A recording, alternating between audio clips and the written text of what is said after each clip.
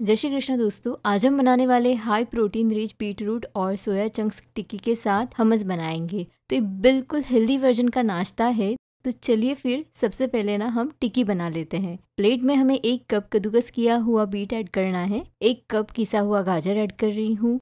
आधा cup soya chunks को मैंने भिगो के रखा था, फिर इसे मैंने हल्का ग्राइंड करके लिया है। दो बॉयल और मैश किया हुआ आलू डालेंगे। पाव कप भिगोया हुआ पोहा ऐड कर रही हूँ।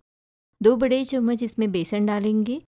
आधा बड़ा चम्मच हरी मिर्च और अदरक की पेस्ट ऐड करते हैं। थोड़े से इसमें धनिया के पत्ते डालेंगे। पाव चम्मच हल्दी पाउडर, आधा चम्मच धनिया पाउडर, आधा चम्मच ज़ीरा पाउडर ऐड करते हैं। स्वादानुसार नमक ऐड करेंगे तो बस इन सारी चीज़ों को अच्छी तरह से मिक्स करेंगे।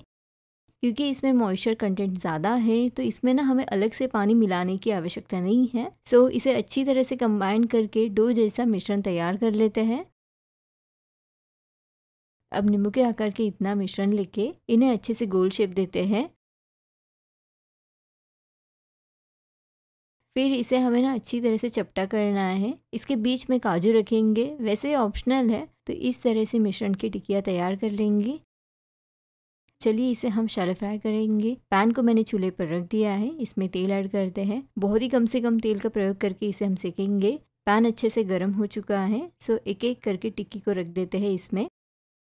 धीमी आँच पर रखकर दोनों तरफ़ से क्रिस्पी और हल्का गोल्डन ब्राउन कलर नहीं आता है, तब तक इसे हम शैलो फ्राई करेंगे।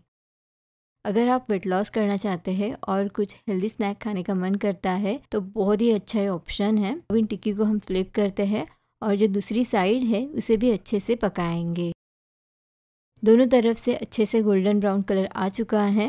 देखिए, टिक्की जो है, वो दोनों तरफ़ से अच्छे से पक चुकी है तो इसे प्लेट में निकाल लेते हैं। चलो, अब इसके साथ ना हेल्दी डिप बनाते हैं हुमस सो मिक्सी जार में हमें एक कप बॉईल किया हुआ छोले, यानी कि काबुली चना ऐड करना है। दो बड़े चम्मच भुनी हुई सफ़ेद तिल ऐड करेंगे।